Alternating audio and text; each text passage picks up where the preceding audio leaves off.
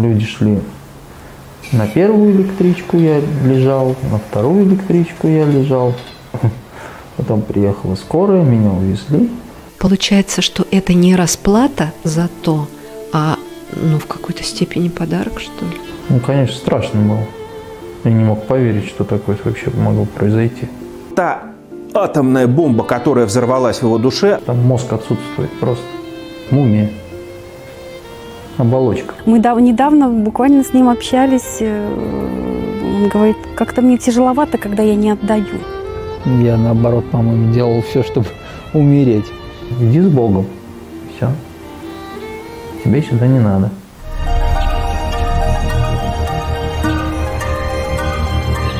Смотрите программу «Обернитесь» 11 октября в 18.45.